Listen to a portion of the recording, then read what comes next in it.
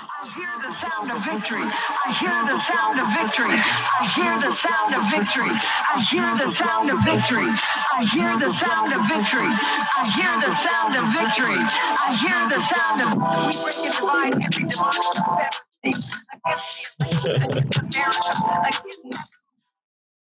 Hey man, how's it going? Good, buddy. How you doing? Good, good. It snowed the other day here, which was pretty cool. That sounds A little- a little- disgusting. A little dusting.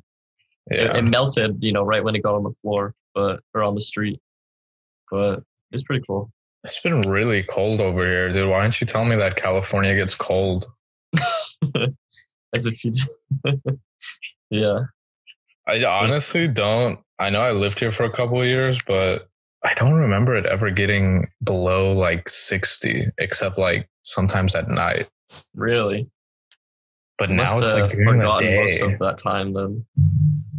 I yeah. feel like every year there's a couple of weeks where it gets into like the the fifties and forties. well, at least, I mean, as long as it's only a couple weeks. Yeah. Yeah, that's fair. There's gonna be a huge uh, winter storm here apparently on Wednesday. Mhm. So I guess the day after this comes out. Um, they're telling like all of the restaurants that they need to secure all of like the outside dining equipment. You know, and some of these people have like Right. these really intense like built wood, insulated yeah. um, wooden like on the street, and they're saying that you need to secure it, blah blah blah, because there's going to be a big snowstorm. So it'll be interesting to see how it fares. You know, to see what actually happens, um, if any of it makes it. But they also said that they can't have outdoor dining if the snow is like going to be more than two inches or something. I can't remember what, but not that I many mean, people would be outside anyway. Yeah, anyone who, I mean, I feel like they should have outdoor dining if the snow is above two inches, and anyone who's out there should be rounded up and put in an asylum. put in some sort of asylum. Yeah. Yeah. or like send somewhere to be put to use, like just send them to like those science bases in Antarctica. yeah, they can handle it. Yeah, Yeah, that's awesome. Yeah. There was this one, I don't know if we talked about it before. Uh, I talked about it with someone else. Was uh there was this steakhouse in Midtown that had outdoor dining. They had done one of those like professional tents where it's like really heavy like plastic drapery around, Right. kind of like what you find at a wedding or something. And they covered the entire sidewalk outside of their uh, building, outside of their restaurant.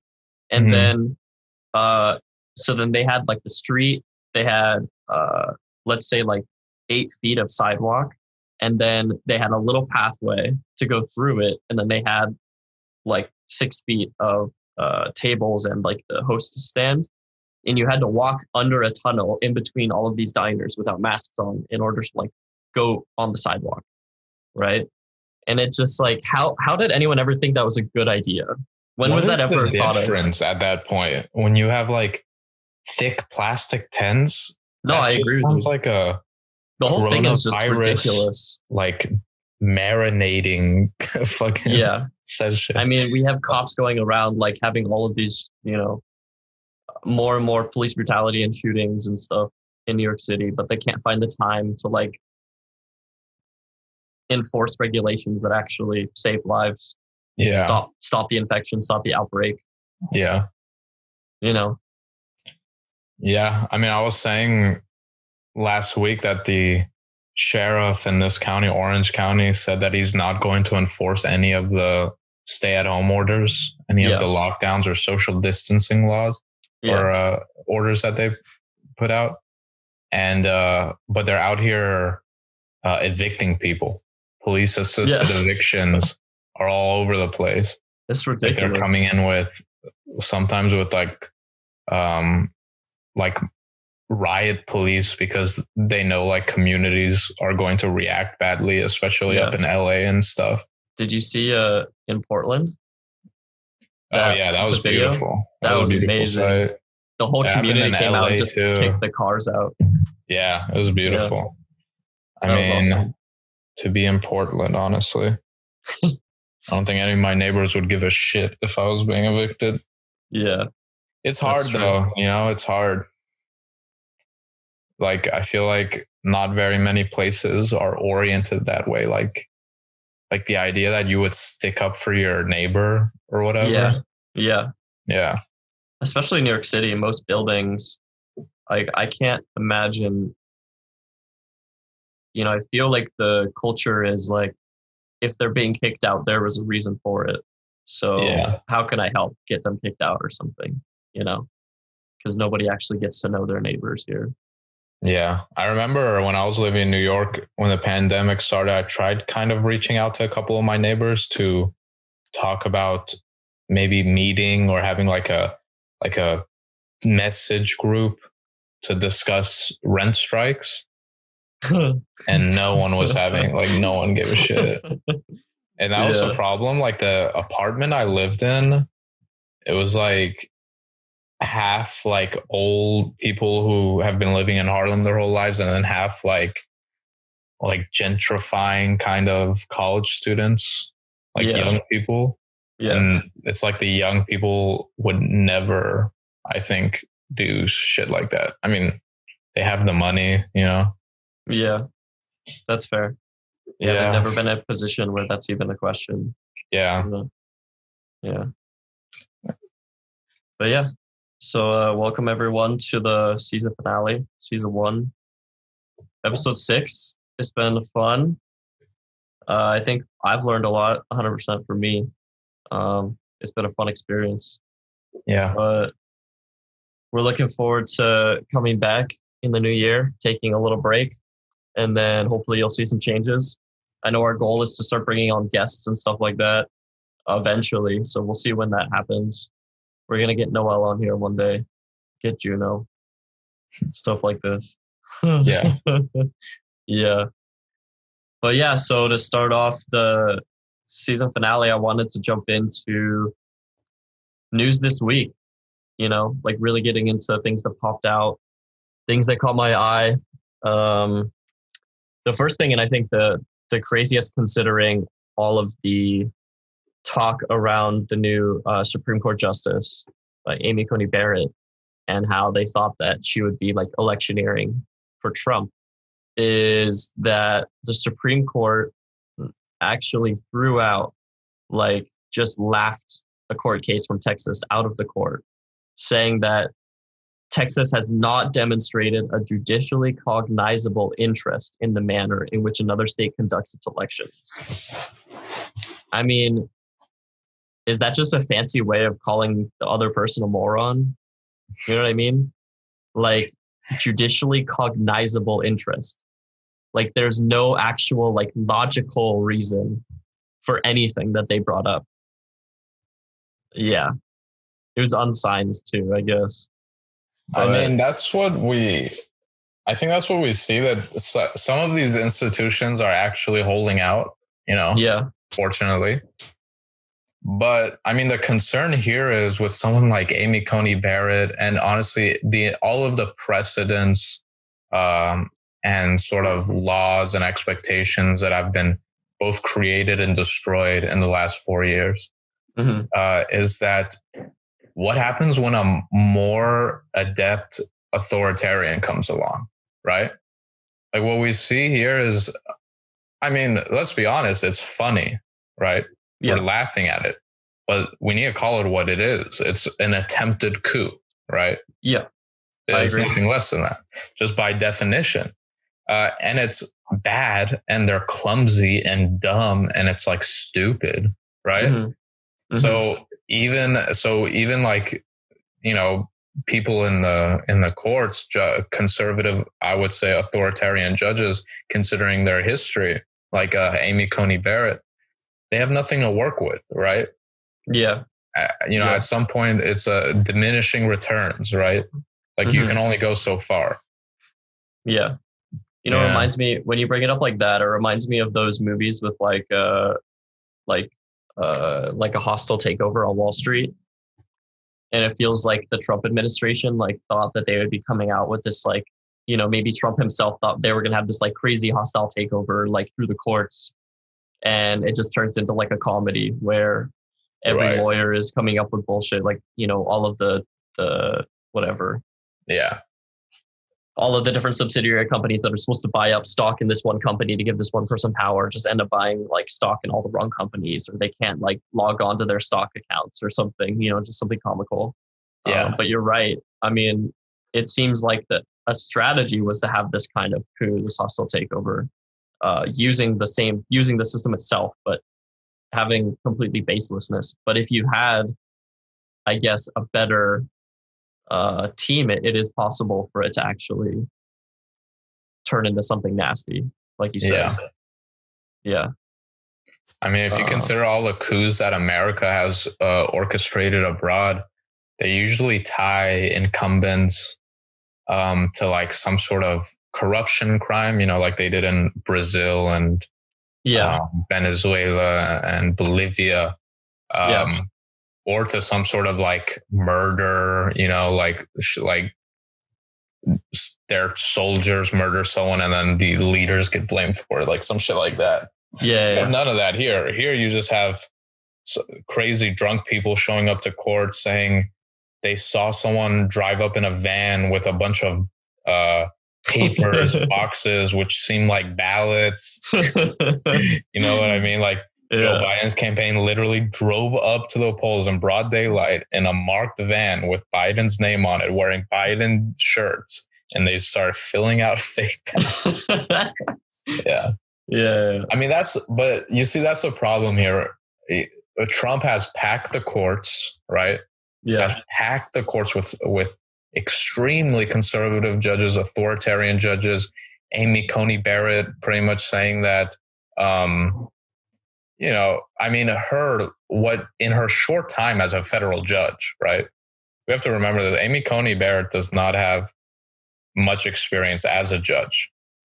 Uh, she was appointed to a federal judge position for a few months, and a Federalist Society backed her, knowing that she was likely to be one of the top candidates to be put up in the Supreme Court. Um, and her short time as a federal judge was terrible. You should, I encourage people to go read some of the decisions that she made and the sort of implications they had in labor and race and all of that. But I mean, I'm worried about I'm worried about someone more competent than Donald Trump and Rudy Giuliani coming along and using what they left these judges, right, Yeah. uh, to actually be successful. Yeah. No, 100%. 100%. And it's happened before, right? I mean, it's happened. I think we have a short memory. 2001 or 2000 was literally a coup, right? George Bush lost the electoral vote and and the popular vote and became president. It's as simple as that, right? It became a polit a political matter, a highly I mean, it became a highly politicized legal matter, uh, and pretty much judges uh, appeased George Bush in the Supreme Court, Mm. and he became president. So, yeah, Yeah. Yeah. I always wonder what would have happened if Gore was around for, you know, 9 11, what his response would have been. I don't think it would have been too different. well, 9 I think 11 would have never still- happened because Bush did 9 11. Sorry. Oh, yeah, that's But, fair. um, Talking about the war, though, I mean, this week they passed the uh, $700 billion defense bill Mm. um, while the rest of us are figuring out where to get our unemployment checks and, you know, whether or not all these people are going to be evicted and with all these unemployment benefits running out. Um, so that, you know, I guess that was predictable that, like we said last week, that the only thing that, you know, Democrats and Republicans agree upon is funding the military. right. Um, and it's an increase in budget, I think. Seven hundred Yeah. billion sounds like more than before. But I, I wanted Uh, to take one point out of it. Yeah. Um, so Rand Paul, like as usual, filibusters it. You know, the one thing that I agree upon with with Rand Paul is that we need to Sure. we need to reduce the defense budget. Um, and I wanted to talk about like the filibuster itself because that's been up a lot uh, recently in the news. Like Mhm. you know, everyone on one side wants to take the filibuster out of the Senate and everything like that. But I mean, there is possibility for someone to use the filibuster to stop bad legislation. You know, like it has been used in the past, just as much as it's possible to use it uh, for good for bad for good legislation. Wait, who wants to get rid of the filibuster? I haven't heard about this. Most Democrats and stuff. Wait, that makes no sense. The Democrats are the ones who got rid of the filibuster for uh, federal appointees, right? Which is exactly what made it so easy for Trump to pack the courts and pack the Supreme Court. Yeah. So because we got rid of the filibuster in 2000, um, the the- not we, sorry, the establishment Democrats got rid of the filibuster in 2016, 2015 was in response to Mitch McConnell's obstruction of the Garland nomination. Mm. And uh, we, I mean, I thought that we all agree that that was a terrible idea because now Democrats aren't able to use it in order to obstruct uh, the packing of the courts, uh, the unprecedented packing of the courts that we've seen this last couple of years. Yeah. No, they want to get rid of it so that, um, like, specifically so that Republicans can't use it to obstruct, um, like regular legislation. I mean, it just seems like a very short-sighted thing because it's going to be used. It's going. It's going to eventually be one of the only avenues um, of resistance that Democrats have Yeah. in the House or in the Senate. Yeah. To me, Um, it seems like, sorry, to me, it Yeah. seems like the ability of the minority, and we talked about this, how the Democrats are like the worst opposition party in history Yeah, and how the Republicans are the best. And it shows you. And the great thing about having an opposition party is that it, it creates critiques of the current administration and Mhm. the current power. And you need that. And you also need a check on the current power, right? I mean, it's kind of like the logic of Obama expanded the powers of the presidency to conduct like foreign affairs, right? Just as Bush had done it before him. And that leaves all of this room for Trump to do it and then for Biden to do it. So it's the same thing. Like you give people the power to to stop like, you know, in this moment to stop Republicans from obstructing you, but in the next moment they you can't use it to obstruct them. Right.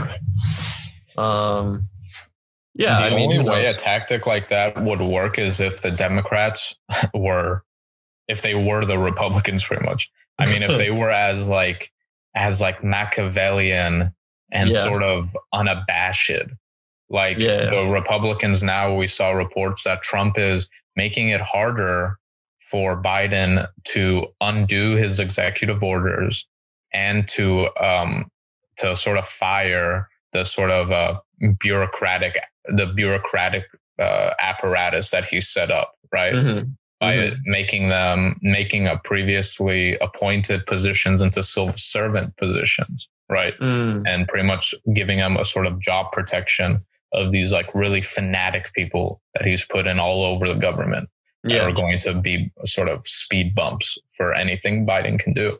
Yeah. Um, yeah, what was that? Where was I going with that? I don't know. Oh yeah, the Democrats. If the Democrats were to be like the Republicans in that in that respect, if they were to say get rid of the filibuster now that they're able to, and then right before they're out of power to to reinstate the filibuster with protections to make it more difficult, like that's something the Republicans would do. Yeah, the Democrats 100%. would never do. They would No. say, "Oh, fair is fair." You know, you know, we're all playing by the same rules. Like, yeah, yeah, yeah. yeah. That's true. That's true. Yeah.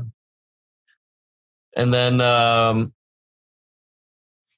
oh, what was I going to say? Oh, so Mike Lee, he blocks legislation to create uh, a national uh, museum in the Smithsonian for Latino Americans.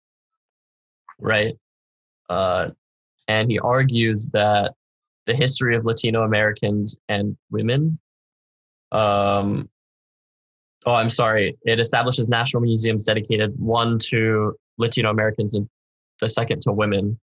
And he says that they should all be a part of American history rather than in a separate museum, because the last thing we need right now is to further divide an already divided nation within an array of separate but equal museums hyphenated of hyphenated identity groups. At this moment in the history of our diverse nation, we need our federal government and the Smithsonian Institution itself to pull us closer together, not further apart. That's the dumbest thing I've ever heard. Yeah. It's like this like weird thing that the Freedom Caucus does, which like turns He just previous like separate but equal shit against against the people who got rid of it. he just called giving or establishing a museum to celebrate uh, Latinx Americans and women Jim Crow. Yeah. This is what he did. That's Yeah. Jim Crow. Yeah. Because it's it's the same thing. Right. It's the same thing. Yeah. Right. Creating this will oppress the groups. Creating this will create a divided nation. And it's Yeah. like, do you really think that it's going to in any way impact how divided our people really are at this moment? Mhm. I mean, honestly, it's, uh, I don't know. This guy's a bit it's much. nothing. It's a it's another grievance that he can go back and you know talk about or go on Fox News and be like, you know, it's really the Democrats who are racist. Yeah, You know? Yeah. Yeah. exactly. I don't see color. Exactly. Mike Lee doesn't see color, guys. Everyone's an American to Mike Lee. Colorblind. Yeah. Yeah, exactly. Exactly. Um, yeah, but one of the craziest things for, for me this week was seeing the news of the uh, the BMW that drove through like protesters in Manhattan. Oh, New York, yeah. Yeah. Um, so the story goes, if you haven't seen it, that this woman's driving down the street, her car gets surrounded by protesters, and a few of them start like slapping the windows of the car and um you know and then all of a sudden she like just gasses it to get out and then just like runs people over runs over like delivery people on their bikes and runs over.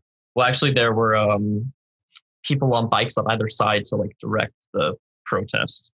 And this was a protest uh in support of the hunger strikes of those Mhm. people in ICE detention centers.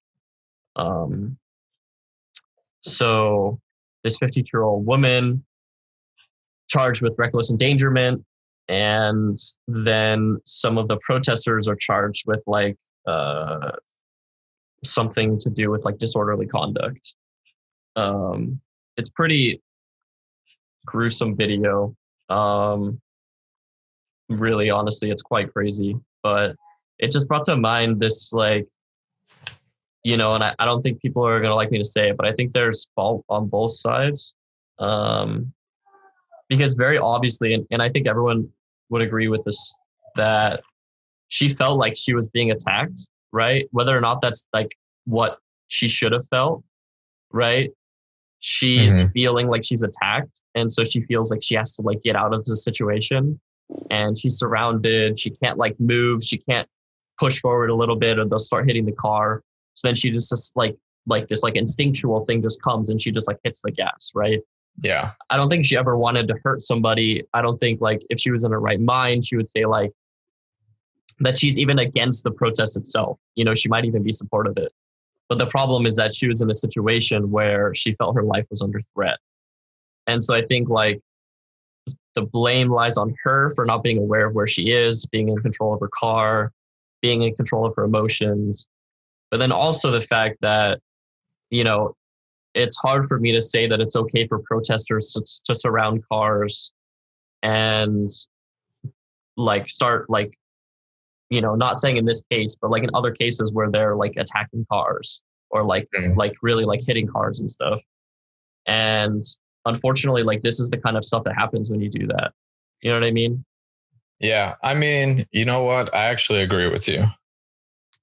But because some people are just bystanders you know yeah, some I mean, people are I just trying to live their lives I think that, well, I mean, I don't know about that. um, part of it. But I think that people in in protests on on the streets that that there has to be some discipline, right? Yeah. Because I mean, what you do has has consequences for the people that you're shoulder to shoulder with, right? hmm I've been in so many situations where I feel like like there was a sort of we don't we want to be organized, right? And our power comes through our organization and our solidarity. And that is hard to achieve when people are acting out of sort of sort of an individual whim, right?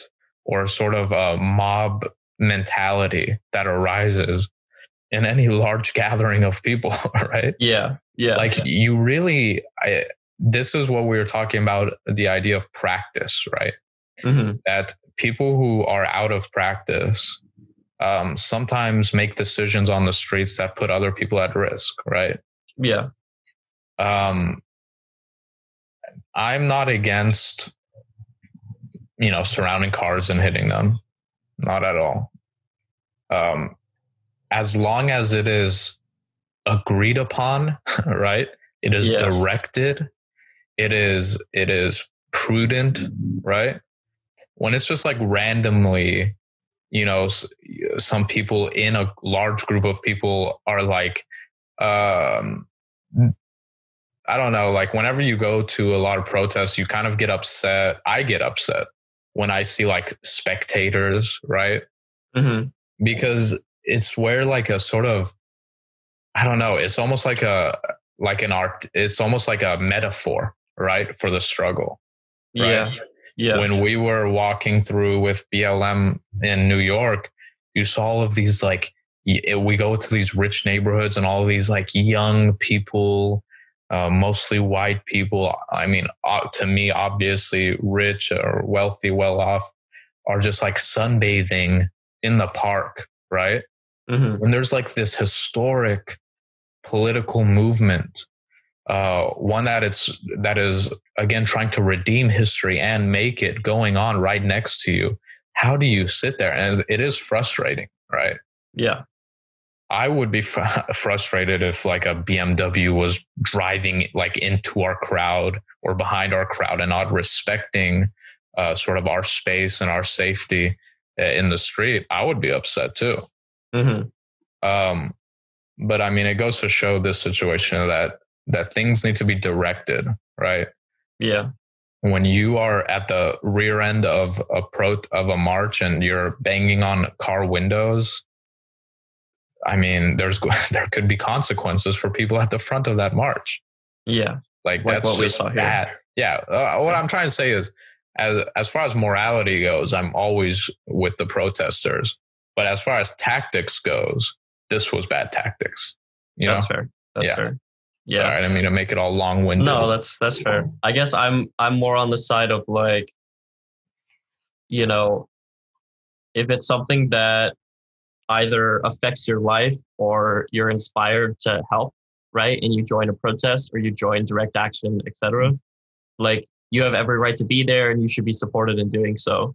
But at the same time, it's hard to like give people who aren't affected or who haven't been inspired the like responsibility to become involved or like like i think at the end of the day it's the system itself that's at fault and i think you'll agree with me that like it's the system that's at fault and sure like we as individuals can work to change the system but it's also unfair to have like to think that everyone is going to be involved that everyone is going to like give up their lives to do anything and i think at the end of the day I just want to, people to be the best that they can be and work for the best that they can work for within the system that we live in. As long as Yeah. they're not like actively oppressing other people or actively discriminating against other people, right? Yeah. Like if you're just living your life under this capitalist society, it's hard for me to think that this woman who grew up in this world uh, in a privileged state to just like, I don't know, I'm kind of rambling at this point, but you get what I'm saying. I get what you're saying, but I mean, I think that that that any oppression depends mostly on the banality of the majority of people. Yeah. Right. Yeah, I see what you mean. Um, and we talked about this with our George Jackson reading. Yeah. Um, and it's something that even Arden Arendt, sorry, uh, Hannah Arendt with her horseshoe theory, um, you know, really admits to is that is that it's the complacency that's the problem, right? Yeah, I see what you mean. I mean, there's maybe five to ten percent of Americans. I mean, I don't know. Just say, for example, I mean, I would say that might even be a, high, a number too high. But let's say five to ten percent of Americans actually are capitalists. They are okay with the exploitation of workers as long as they benefit from it. They're okay with U.S. imperialism. In fact, they want it, right? Mhm. And the rest of people are just trying to live their lives. yeah. And, but the rest of the people is sort of the firewall, right? It's Yeah. the yeah. people who say like, you know, well, it might not be a great system, but I found some sort of peace and stability within it, and that's what I'm out. That's what I'm out to protect, right? Yeah. That's as far mean. as my interest goes. Yeah. Um, and that needs to be challenged. Yeah. I I don't think it is ethical. Uh, I don't think it's good for a person to live their lives in peace, right? To sort of live their lives trying to ignore um, the harm that is happening around them and the pain that is happening around them. It's Yeah. not only it's not only bad, I think, but it's sort of dumb because Mm-hmm. eventually that pain is going to be turned towards you, right?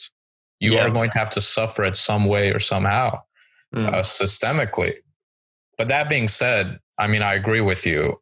I'm not going to make this a matter of like sort of individual responsibility or or individual action. I get that there are system that there are systemic incentives in place that have to be uprooted before we can expect everyone to be, you know, marching with us.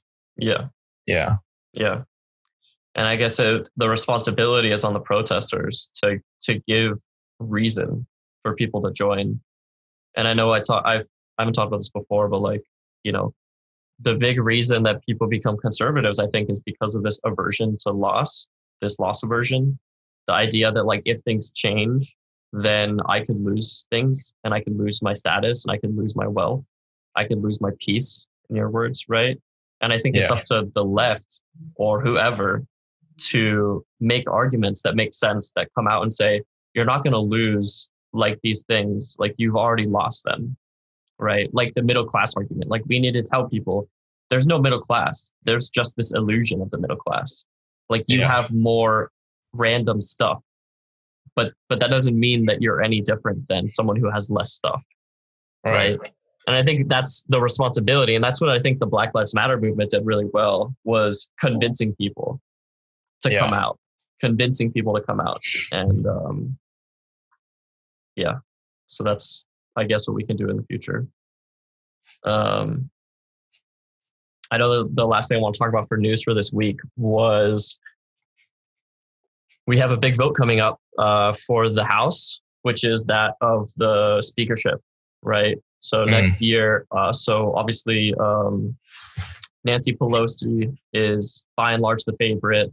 She is pretty much guaranteed with all of her um, all of her labors, all of her lobbying to the rest of the members of Congress, which she has done through uh, bringing in the majority whip Jim Clyburn, who uh, was the big reason that Joe Biden won the the, um, the nomination. She also brings in a lot of uh, big donors to help squeeze like Democrats with money, and then also bringing in like labor leaders to contact their local congressperson. So really like hammering on these people to vote for her, really bringing her power together.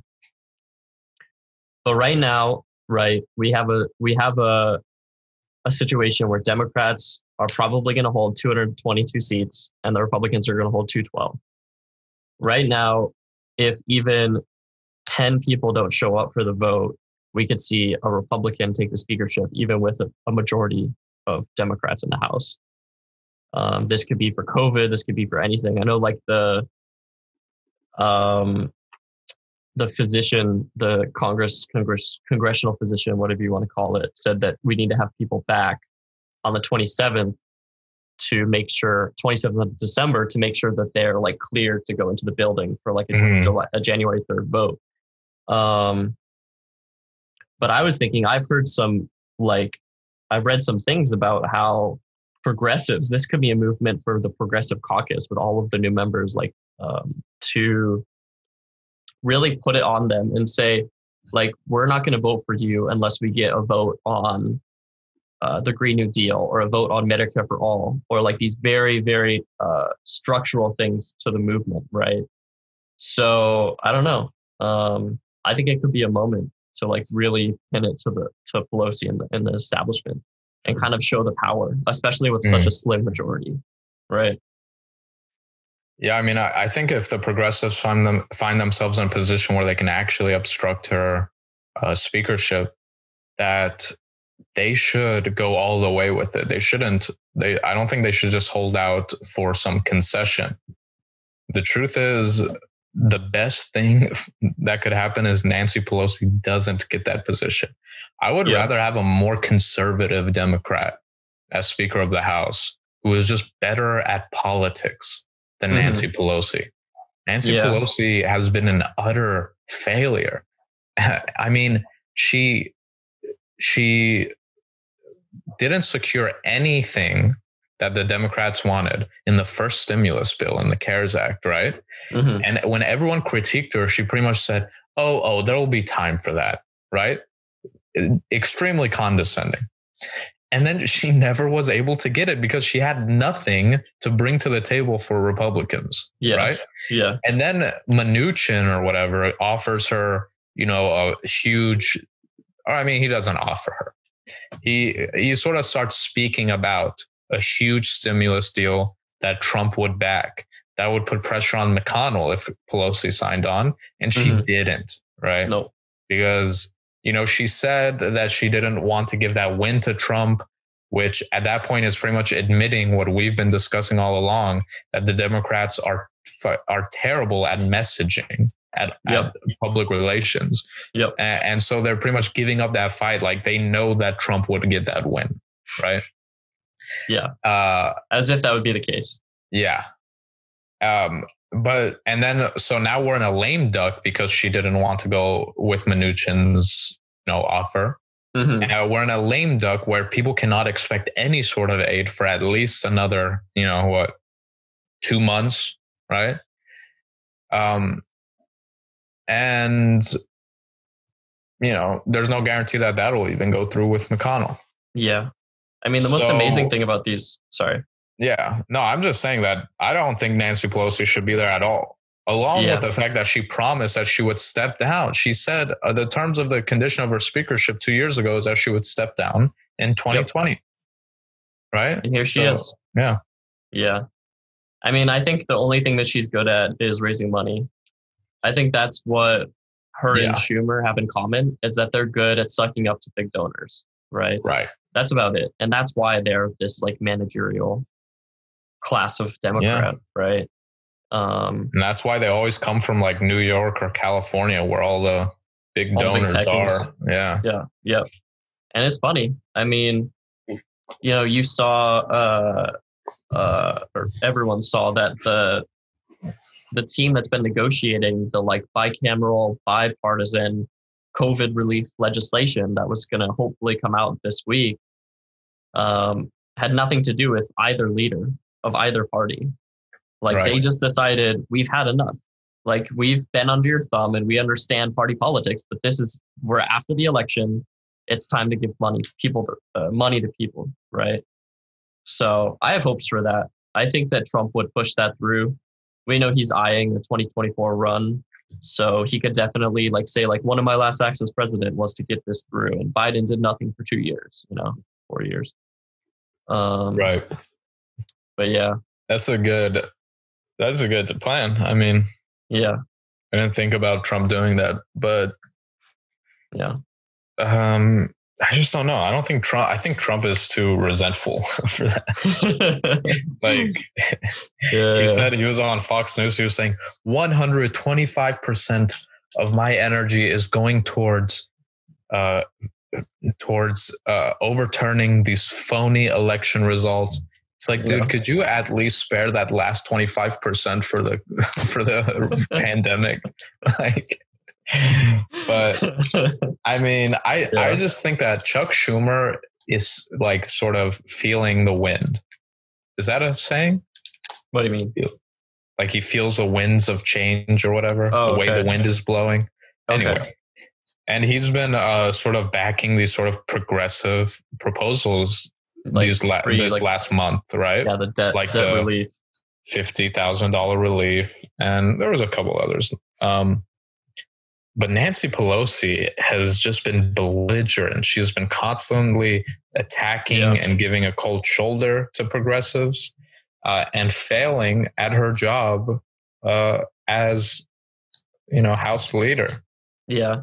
I mean, the craziest thing for me was when she was on CNN with Wolf Blitzer. I don't know if you saw that that clip, but she he asked her like straight up, "You have an opportunity. Like you were given a deal, and for let's say like 900 billion, whatever the Republicans wanted to do, which would give money to people. not the like Republicans, Mnuchin. Mnuchin. Yeah. Yeah. sorry. Yeah. yeah yeah you're right and um and you said no so like why are you like withholding money from these people who are gonna like you know be evicted in a month and all this kinds of stuff and she got belligerent with him and was like how dare you like you don't know what's going on in the room like you don't know mcconnell you don't Oh, know right, the right, right. details of the bill like Yeah, there's so much that. crap in it and it's like Yeah. gives a shit you know like this woman is so corrupt she is so corrupt Yeah. because it's it's incredible how you have someone who is so utterly tied to donors and we still have a conversation about it about her having the leadership of the party Yeah. it is just ridiculous and this is i mean this is the beginning of the progressive movement is like getting away from donors and saying this is ridiculous Yeah. there's yeah It's we can go on and on Very frustrating. yeah yeah yeah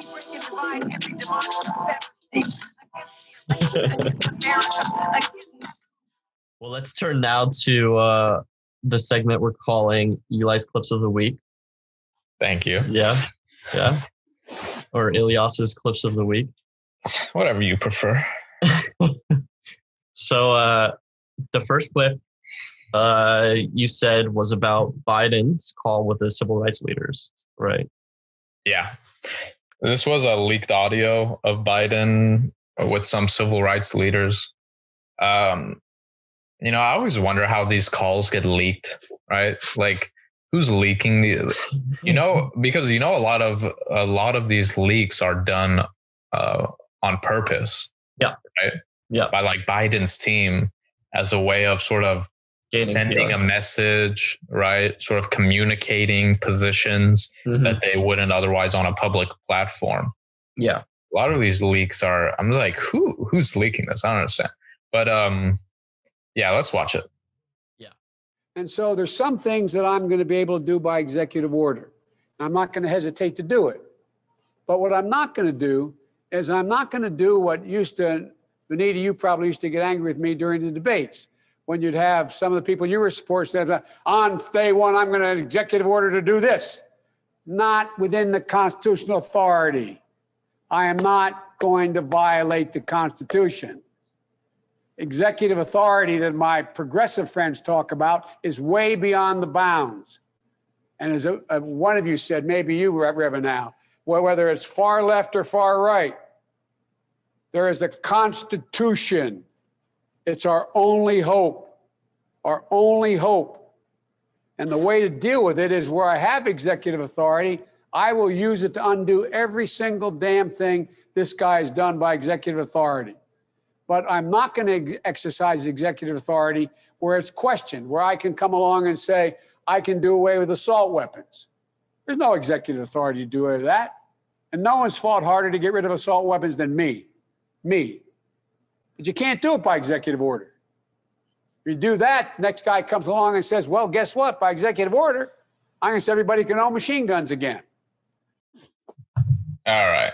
I mean, Yeah. dude, This is why Democrats lose in the this long is why Democrats. this is why we had a toothless Obamacare. Is because Yeah. this guy was in charge of it. Yeah. I mean, the idea, first of all, uh, whether you like it or not, the interpretation of the Constitution in recent history has really opened up executive orders as a sort of um, as a precedent, right? Yep. Like it's expected. It's not outrageous. Every president uses executive orders, some more than others, right? Uh, And many of them reverse them in the next term. and many just- of them reverse them in the next term. That's what happens. Exactly. But the idea that, first of all, appealing to a constitution like some sort of Republican in the late 90s, right? Yeah, yeah. It's like, what are you talking about? The Constitution has, yeah, the Constitution has not elucidated many of these problems that you're trying to avoid, right? That's ultimately what's happening. He's trying to avoid problems. The fact that he admits, I will use executive orders to overturn everything Trump did, right? Shows you that why don't you use those orders like Trump did, right? To give us something good for once, Yep. right? Yep.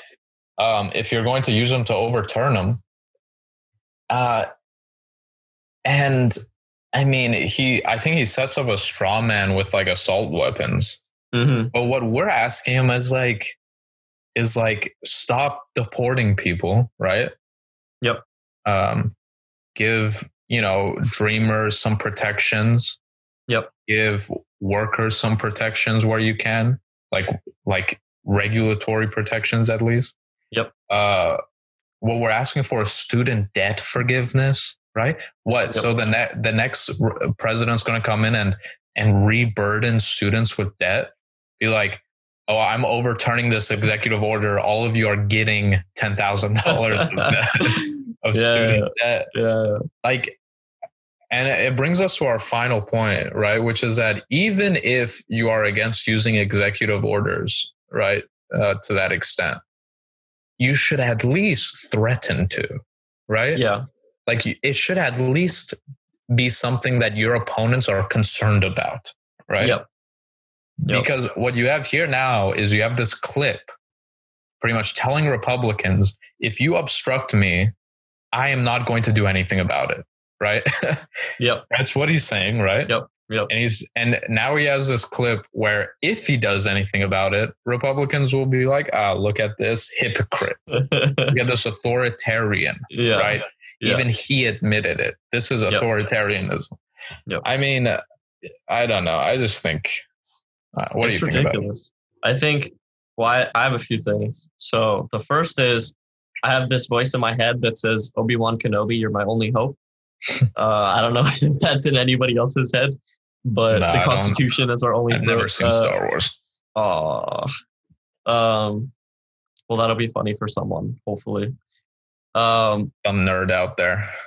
you mean like most most people in America? Uh, yeah, but it, it reminds me also of um, the way that Obama handled Afghanistan, right? Where he goes in and he says, "Okay, we're gonna leave in six months." Mhm. And then the Taliban's like, okay, like I guess we'll just not do anything for six months. And then once Americans leave, we could just go do things, you know? Right, And it's like whether or not you agree with us doing things in Afghanistan, right, right, right. considering the goal was to change Afghanistan, that's the most ridiculous thing you could ever You do, could do right? yeah. And it's this it's this establishment academic uh, Democrat that says like, you know, we're gonna be um, like righteous on our like you know moral high ground. We're gonna do things the proper way. We're gonna give people like notice of our intentions or whatever. And then you go against someone dirty like a Republican, and they're like, okay, like I'll have the presidency in four years. Like I didn't know you wanted Trump in uh, in another four years. Let's go. Like I'm gonna spend you know three months talking about this one call, and then Mm. you're done. This Um, is exactly what we talked about with George Jackson. Liberals, right, are, and you know, it's brought up in Fanon and Sartre brought it up. We talked about a couple, or we brought up a couple times. Is that is that liberals are sort of the firewall to fascism hmm because as liberals are always trying to uphold order, uh, uphold institution, uphold uh, uh, what's that word? Decorum, right? Is that the word? Decorum Decorum. Trying to uphold sort of decorum and civility against the obscenities of the right. Right. And while they're trying to do that, while that's all they emphasize, the right doesn't care. Right? Yeah. The right is okay with throwing all that stuff in the fire. They don't care. Yep. And so and so you're always sort of giving ground to them, right? Mhm. Little by little until it all falls through. Yeah. Right? It reminds me of those debates where uh, that Trump had in 2016, where he was like told to be quiet. You know, like because before the presidential debates were more about decorum, right? And then he came Right. in and changed the game. And they're Yeah. like decorum, decorum, and then he just keeps talking. He doesn't care.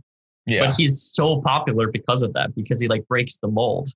And then Yeah. now in the next elections, you see Democrats and Republicans doing it. Um, and so you know, there's a little bit of obscenity in the in the primaries, but once you get into actual governing, it's like, no, we're gonna hold the moral high ground. We're okay. It's it's gonna be fine. Yeah. I mean, Yeah. I think one thing, I mean, many things unite them, but another thing is that unites the sort of Bernie movement and the Trump movement in 2016, you know, Mhm. up until now is a sort of being exhausted with the tradition of politics, with the sort of uh, the ceremony of politics, right? Like Yeah. we don't, we're we're tired. I think everyone is tired of hearing the way that politicians talk, uh, acting the way they do, right? When people are struggling, when people are immiserated, Yeah. Yeah. uh, Politicians acting like the all they need is one more year of power and yeah, then they're gonna fix all your problems and hearing it every single year. yeah. Always change through these processes. It's too slow. All right, that's what everyone's telling you. Yep. It's too slow. Yep. We can't wait anymore. No. Yeah. And let's uh one of the things that he brought up was that he's like equating the progressives to the far right by saying like whether it's the far Mm. left or the far right, there's a constitution. And Right. it's like he thinks that like Trump is equal to the progressives, as if the progressives are trying to do anything but like it's also ridiculous that he thinks that the progressives are trying to thwart the constitution. yeah, like, that's the that's the funniest thing that I've recognized um, from becoming a leftist is that the left goes out of its way to learn about the world and to find a way within it in the ways that they can, right? Mhm. And you see this in the debates between like Zizek and Peterson, is that the right just does not do the same thing. yeah, They have their own beliefs, they're going to learn about their own system, and they're going to change the system to the way they want it to, and that's going to be right. There's Right. no respect. And it goes back to this okay, so yeah, it's funny because you're like equating progressives with that, and it's just ridiculous. And I think this goes Yeah. into the next clip, which um, was where Biden says that Republicans use the phrase defund the police to beat the living hell out of Democrats. yeah. So This one's a good one. Let's watch Yeah. this. let's watch this one. One of the things I'd be concerned about, just as was pointed out to me that you wanted me to be concerned, Derrick, I think it was you said it, about, you know, uh, um, uh, dealing with um, Vilsack as uh, in, uh, in terms of, a, ter- of uh, agriculture. Well, first of all, you can learn more about Vilsack's record, but my point is this. I don't think we should make that a big issue going into before January 5th when the election takes place down in in uh, um, uh, in uh, Georgia. But I also don't think we should get too far ahead of ourselves on dealing with police reform in that because they've already labeled us as being defund the police. Anything we put forward in terms of the organizational structure to change policing, which I promise you will occur, promise you just think to yourself and give me advice whether we should do that before January 5th, because that's how they beat the living hell out of us across the country, saying that we're talking about defunding the police. We're not. We're talking about holding them accountable. We're talking about giving them money to do the right things. We're talking about putting more psychologists and psychiatrists on the telephones when the 911 calls through. We're talking about spending money to enable them to do their jobs better, not more with more force, with less force and more understanding. But that's, I just raise it with you to think about. How much do we push between now and January 5th? We need those two seats about police reform, but I guarantee you there will be a full blown commission. I guarantee you it's a major, major, major. Well, I think Joe Biden is forgetting something when he says they use that phrase defund the police to beat the living hell out of us. Joe, you won. like, what are you talking about? You won, man. Yeah. And you won Georgia, Yeah. right? Like, Yeah. there is absolutely no evidence that defund the police, the idea of defund the police, uh, hurt the Democrats, right? Mhm. There's no evidence. In fact, we talked about when BLM protesters burnt down a precinct in Milwaukee, the majority of Americans said it was justified. Yep. Like, there is no, like, I think he is at once underestimating sort of the support that BLM and defund the police have throughout America, or police reform in general has throughout America. Yep. Especially in Georgia and Atlanta. Yeah. Right. And at the same time, playing this go slow game again, right? Where we saw leading up to the election, uh, any concern that progressives had, it was, you know, oh, right, we're in the middle of an election right now. So, you know, let's, we'll, we'll talk about this in a few months. Now, oh, we're in the middle of runoffs, right? And then it's going to be, oh, it's midterms. You know, midterms are coming up. They're only a year and a half around the bend. Mm-hmm. There is always going to be an election, all right, Yep. around the corner. Yep. And you cannot deal with this by not talking about things, right? Yeah. By putting things Yeah, on the yeah. back burner because there's an election coming up when there's an election every year, right? It doesn't make sense. You need to find about uh, find ways to discuss them openly, right? Mhm. uh, and incorporate them as a part of your platform uh, in a way that uh, that doesn't hurt you, which Yeah. I think many BLM leaders, civil rights leaders have done, and Joe Biden's sort of behind on, right? Yeah. It's this like play to like play not to lose mentality. I feel. Yeah. You know, it's it's like if we don't bother people, if we just hit on those issues that are generally accepted, that don't really push Republicans away, it's like we can win. Mm, but the whole strength, like you said, the whole strength of the movement of anti-Trump and pushing out this Dem win and possibly flipping the Senate was all based upon this aggressive movement. This aggressive movement saying, "No, we want these things, right? We want like re- we want to restructure the police. We want to restructure uh, healthcare, education, right? We want to do all of these things." but yeah, like you said, like once he gets in power, he's just the man of appeasement. And it's Yeah. what you saw, like I said before, it's what you saw with Obamacare, right? He touted that he was the one in charge of Obamacare, the one that went to the Hill and like really dealt with the leadership, right? And look what you got. You got a toothless bill that largely failed. It did help, you know, millions of people get insurance, but it did so in an incredibly inefficient manner. It didn't reform the system. It's still a Mhm. broken system, right? Um, the only things that are going to stick from it that that are generally accepted now, which is incredible, is the um, you know you could be on your parents' insurance until you're 26 and the pre-existing conditions, right? right. But the rest of it is just is just crap.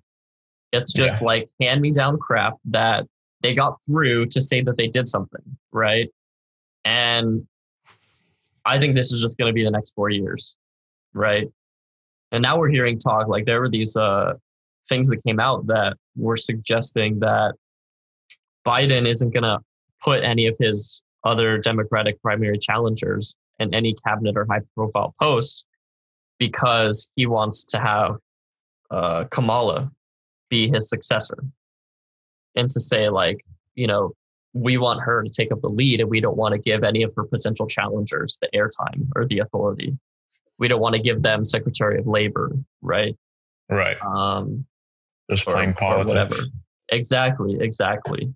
I mean, Um, I, I think this appe- this sort of uh, appealing to some sort of imaginary center, yeah, which has never existed, I don't think, but most definitely does not exist today. Yeah. Right. Um, this is the same. This is the sort of same reaction to progressive movements that have always come up in American politics. You can find articles from um, the civil rights era or the um, Civil War era of of journalists saying that abolitionists were sort of too fervent, right? Abolitionist speakers were too fervent. They were too uh, too dramatic, and they're not being practical, right? Mm. They're not Yeah. realizing the difficulty of you know American politics. Same with the Yeah. civil right the civil rights era. Many uh, pundits, many politicians, and uh, all um, argued that the civil rights message uh, and desegregation message was hurting their platform. Right, Mm, was sort of making it hard to message. yeah, Uh, and we have it here too. When, and I think it's really sad. I mhm, mean, I don't know what to say about it. Uh, I mean, what makes it what makes it especially sad is at the end of his uh, of this clip, he talks about how defund the police is about is about sort of diversifying uh, city budgets uh, and, and disaster response. Right? It's about sort of um, uh, giving police less of a burden. Right? uh, and giving them less responsibilities and creating the infrastructure for other sorts of organizations, other types of responses to problems in a community, right? mhm, This is a perfect message. I think it's the best way of of communicating this message uh, in America of defund the police, right? Yeah. So Yep. what's sad is that he shows that he has a good message. He knows how to respond when Republicans say, "Oh, they just want to defund and, uh, the police and they want to abolish the police." He knows what what to say because he just said it. That's the Mhm. response. We don't want to do that. We want to help the police, right? yeah, But at the same time, he's unwilling to use it. He's unwilling to to go through the trouble, right? yep. Yep. Yeah. No, I agree with you. Especially in an era where I live in a city that the uh, police budget is bigger than some nations' armies. Right. You know, it's yeah. Maybe that's a bit too much. Maybe maybe when our police budgets are bigger than armies in different countries, we can say Yeah. we're good. You know, we're good. And then this last clip is uh, from Bernie. Do you want Yeah, to introduce let's it? see it or on we just go CNN. in? Uh, MSNBC. Oh, MSNBC. Sorry. Yeah. You know, Stephanie, I always get a kick. Here in Washington, when we go to war, there's endless amounts of money. Tax breaks for billionaires, endless amounts of money. Corporate welfare, endless amounts of money. When children are going hungry in America today, suddenly we don't have enough money. That's crap. That's wrong. And if we have got to stay here throughout Christmas, which is the last thing in the world that I would want to do, we are going to stay here because we are going to make sure that struggling working families in this country get the help they desperately need. Senator, I'm not agreeing with you fundamentally, but I want to talk to you practically. You've been the lead sponsor of 422 bills during your 30 years in Congress, but only seven of them have become law. Given that record and how dire things are, as you just laid out, do you need to find another lane or take a different approach here? I don't think that's the issue, Stephanie. I mean, you can ask me how many other senators have passed significant legislation in recent years. Question is, you could name post offices and so forth and so on. Some of the legislation that I've worked on, the Veterans Bill, for example, has been very significant in passing. But the issue right now is is the United States Congress going to stand up for working people or not? I just really thought this one was funny because of the little graphic that they made to try to smear him. Yeah. Yeah. yeah. like this is the same lady who was on um on TV talking about how uh why why are progressives trying to trying to alienate rich people? Why are they trying to turn away from rich people? We need to we need to all f- be together, right? like but yeah. um yeah. yeah. Okay, first of all, to address the smear, if I have to, uh, actually, Bernie Sanders' record, those numbers are, you know, as good as most other lawmakers. Uh, in fact, better than many, better than Nancy Pelosi's for that matter. Yep. Uh, and uh, Bernie Sanders had the laws that he has passed have been have been very consequential, right? Uh, especially as a veteran, I would say that I owe him a lot, right? Mm-hmm. Uh, because he was on the veteran commission or in uh, in the Senate. But further, as an independent and as one of the few progressives in Senate, one of the only things he really has the power to do is obviously he can't pass laws as as a as a progressive. But what he does um, is is he amends laws and he has created many many amendments to bills that have been passed through the senate uh, many amendments i mean that's kind of what he's known for doing right Yeah. Yeah. Uh, which she doesn't include Yeah. but let's get to the f- final message uh, she says i mean what she meant to say there is that she agrees fundamentally but she she doesn't she disagrees fundamentally uh, i think is the problem Hmm. this this call again to practicality is just going off of what we saw from from um, Joe Biden. Biden, right? Yeah. The sort of practicality that she talks about has never worked, right? Mm-hmm. And Bernie Sanders actually remains as one of the few people who has respect amongst Republicans, despite the sort of red baiting that you see in, in uh, right wing media around Yeah. Bernie Sanders. Is that he has reached across the aisle many times in order to pass bills that help working people, right? Yep. Uh, uh, what she's pretty much arguing, and what she goes on to argue here, is that is that he's asking for too much and that he's being impractical, right? That it, it never hopes that it, what he proposes doesn't have any hopes of actually passing.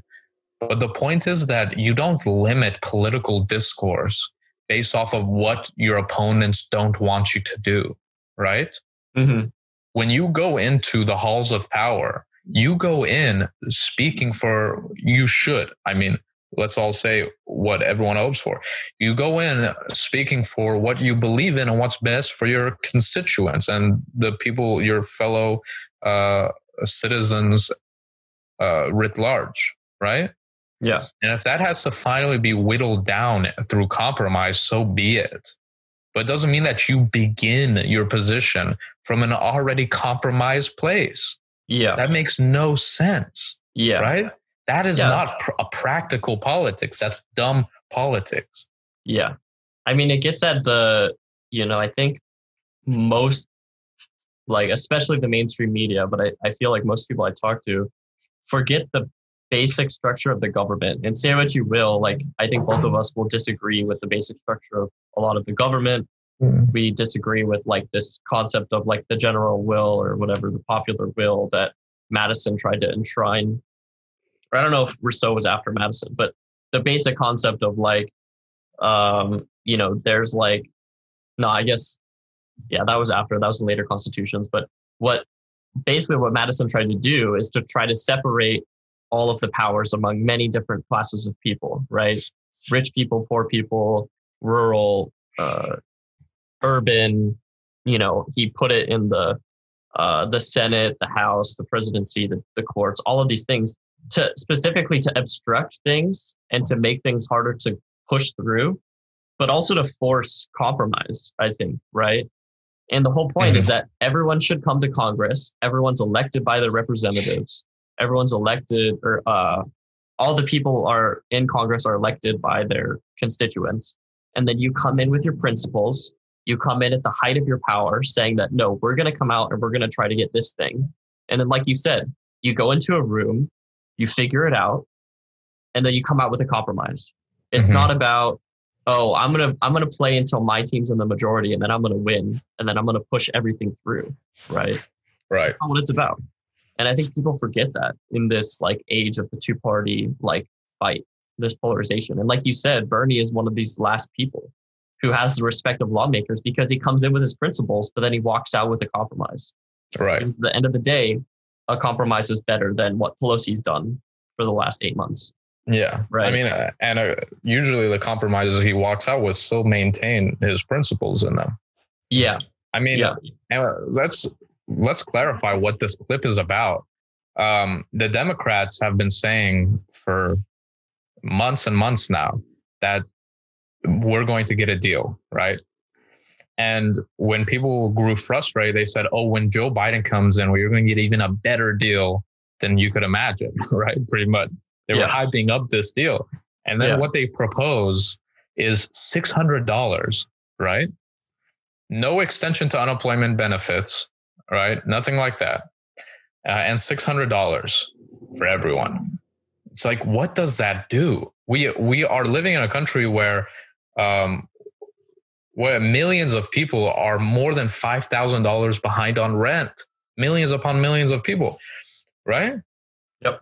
What is five hundred dollars or six hundred dollars going to do? And all Bernie Sanders is saying here is, let's give them twelve hundred extended unemployment benefits, and if we can't do it, let's not go on vacation, right?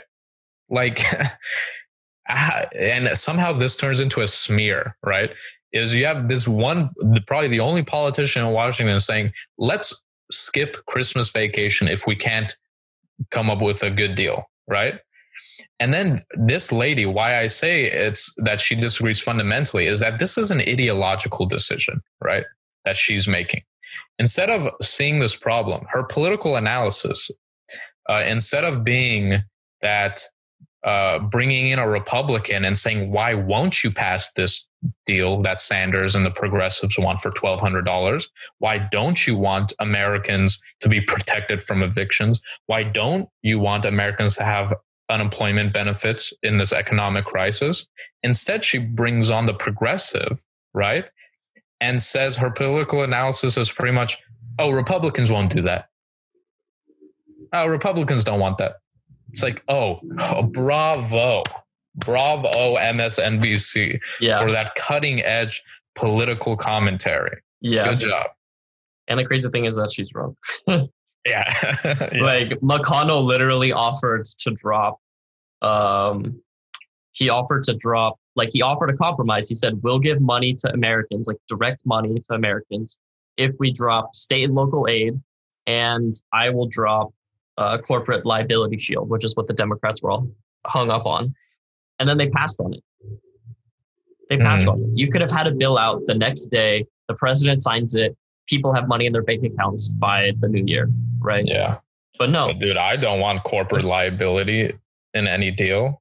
yeah, You see, No. why isn't she talking about that? That should be damning. Like, yeah, why don't you have Republicans being like, dude, people are starving and going, and people are going homeless, and you guys want to make sure that that uh, corporations don't get sued? You have uh, Tyson, right? Bring up the case in Tyson. The, these managers, these bosses were betting on who would die from COVID, right? Yeah. Yeah. Because uh, the government forced meat packing to operate through the pandemic without any proper regulation. Donald Trump Yeah. did, right? Yeah. Uh, and they're one of the highest infected occupations now, and also one of the poorest, right? yep, They're also the ones going to the food lines, and they're the ones making the fucking food. and you're worried Yeah. about corporate corporate liability. What? yeah, And instead, she has Bernie Sanders on. That is an ideological decision on behalf of MSNBC and this shill. Uh, and and they need to stop pretending like they're at at some sort of center where they're just you know playing practical politics. No, dude, you don't believe in this. That's Yeah. the problem. Yeah. Yeah, I agree.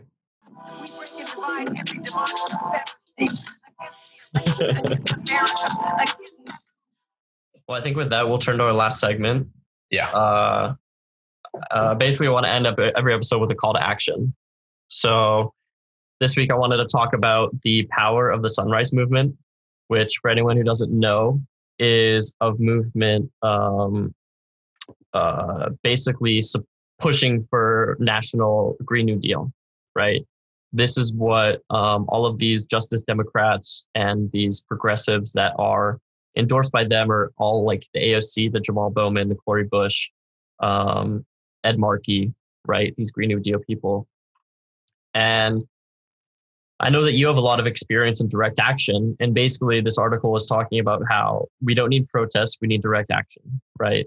And the power of the Green New Deal, of the Sunrise Movement has been their ability to mobilize young activists, mobilize callers to get people to vote for people like Cori Bush and Jamal Bowman, who they endorsed, right? And they actually, um, I forget which state it was, but they actually moved to take over a state legislature with all of their, um, with all of their uh, endorsements. Like they Mhm. have the ability to like they're moving on like a local level, a state level to take over. And we see an organization that is built to train activists, to uh, endorse candidates on every level of government, to stop just focusing on the national, to also focus on state houses, local uh, city councils, boards of education, uh, board of supervisors, whatever you want to call it. And I think we're seeing, you know, we can have these Black Lives Matter uh, protests, we can have these defund the police protests, right? But at the end of the day, what we need is direct action. We need organized efforts, like you've been saying, to move to elect people to to overturn the system, right?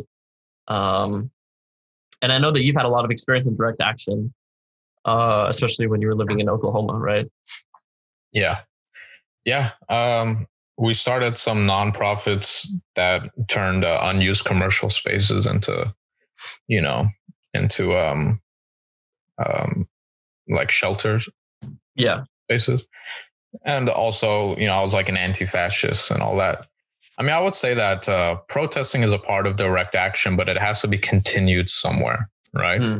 And Yeah. whether it's continued in community engagement, uh, like you know, food banks or I don't know, uh, community policing or or trauma response, all that, any of that. Mhm. Um, uh, it can also be carried on into electoral politics, which I think is what the Sunrise movement is really focused on, is creating this bridge from um, local, spontaneous sort of political uh, movements. I don't know what you would call it, gatherings from the streets, right? is Yeah, what I would yeah. call it grassroots. to yeah to um sort of this uh, electoral realm that has long gone uh, unrecognized i think in its importance is like a more local state um, um, bodies right? Yeah, yeah. Yeah. And i think it comes from like like you said the the term electoral politics is such a different concept than i think in the past because i think we all grew up with you know if you you know if if you want uh, an issue to be supported by your congressperson then like call their office right? Mhm. call their office flood their flood their phone banks. Like this was the calling card for for a few years here right? Yeah. And that does have its place just like you said like protesting has its place. But at the same time these congress people are the reason why things are the way they are right? These donor um beholden congress people are the reason that we have this kind of corrupt system so how do you change that you change that with a strong uh with a strong electoral pol- political campaign right yeah getting people elected to office that are entirely of the movement and they're doing a great job of it and i know that i hope uh, with the uh, so it's kind of weird but city council in new york city has their elections uh, this year coming up So they have the Yeah. primaries in June.